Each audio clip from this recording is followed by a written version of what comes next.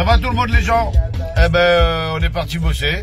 Euh, je suis vachement surpris parce que hier on avait mis une euh, vidéo sur la page qui s'appelait Grande claque dans la gueule, leçon de politesse. Et visiblement il y a quelqu'un qui l'a signalé et, et, elle a été retirée.